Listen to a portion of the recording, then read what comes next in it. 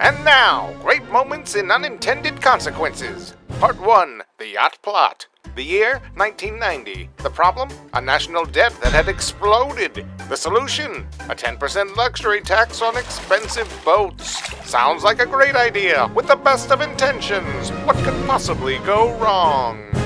It turns out that while wealthy people buy yachts, it's usually middle income people who make them. This giant middle finger of a tax plan cut sales of luxury boats by 70%, sent companies overseas or into Chapter 11, destroyed hundreds of thousands of middle class jobs, and resulted in a net loss in tax revenue. Turns out it was all for yacht. Part 2 Who's Hungry Mao? The year is 1958. The problem birds eating too much grain in China.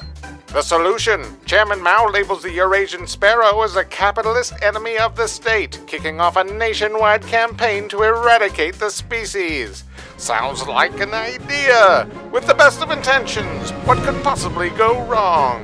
It turns out sparrows also eat insects, and insects eat a lot more grain than sparrows do. A hundred million dead birds later, grain yields plummeted in China, resulting in massive famine, starvation, and deaths estimated between 15 and 45 million people. On the bright side, at least China learned its lesson about rounding up unwanted population. Part 3 Vaccination Proclamations.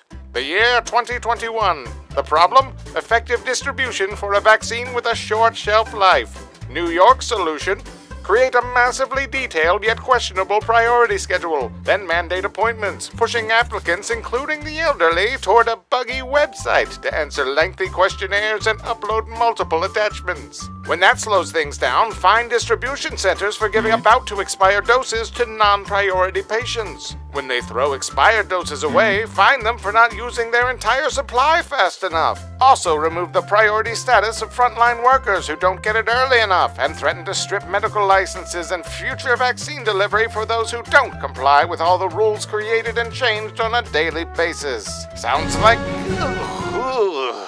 Come on, New York, get it together. Just don't forget to cover up nursing home deaths and blame the federal government when you collect your Emmy. Great moments in unintended consequences. Good intentions, bad results.